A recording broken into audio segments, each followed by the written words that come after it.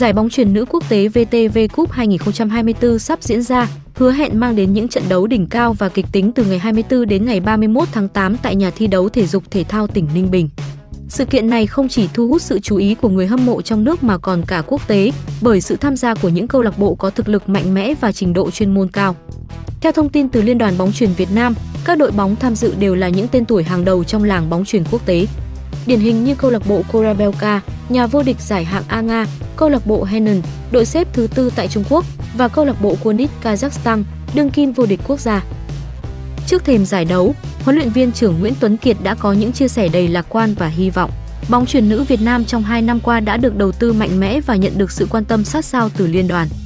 Tuy nhiên, chúng tôi vẫn nhận thấy còn nhiều điều cần cải thiện, đặc biệt là ở thế hệ vận động viên trẻ hướng tới tương lai.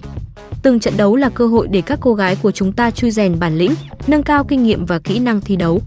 Năm nay, đội tuyển đón chào sự trở lại của đối truyền Nguyễn Thị Bích Tuyền, một trong những mũi nhọn tấn công đáng gờm.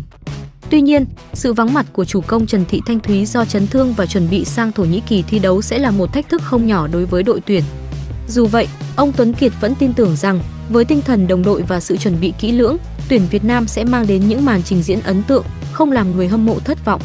Một trong những điểm đáng chú ý tại giải đấu năm nay là việc tiếp tục áp dụng công nghệ Video Challenge Eyes, một công nghệ tiên tiến hỗ trợ các trọng tài trong việc đưa ra những quyết định chính xác nhất.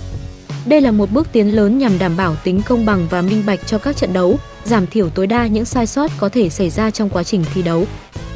Giải bóng truyền nữ quốc tế VTV Cup 2024 còn hấp dẫn với tổng giá trị giải thưởng lên tới gần 32.000 đô la Mỹ. Đội vô địch sẽ nhận được 12.000 đô la Mỹ, đội Á quân 7.000 đô la Mỹ, đội hạng 3 5.000 đô la Mỹ và đội hạng tư 2.000 đô la Mỹ.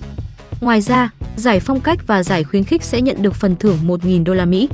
Không chỉ dừng lại ở các danh hiệu tập thể, giải đấu còn tôn vinh 9 danh hiệu cá nhân xuất sắc với giá trị 300 đô la Mỹ mỗi giải, bao gồm một vận động viên toàn diện, hai chủ công xuất sắc, hai phụ công xuất sắc, một truyền hai xuất sắc, một đối chuyển, một libero và một hoa khôi bóng truyền. Về thể thức thi đấu, 8 đội tham gia sẽ được chia thành hai bảng, thi đấu vòng tròn tính điểm để xếp hạng. Sau vòng bảng, các đội sẽ bước vào vòng tứ kết với thể thức đấu chéo đầy kịch tính. Các đội chiến thắng sẽ tiến vào bán kết, tranh hạng và cuối cùng là trận đấu chung kết. Tất cả các trận đấu sẽ được phát sóng trực tiếp trên nền tảng VTV, mang đến cơ hội cho người hâm mộ khắp nơi theo dõi và cổ vũ cho đội tuyển nhà.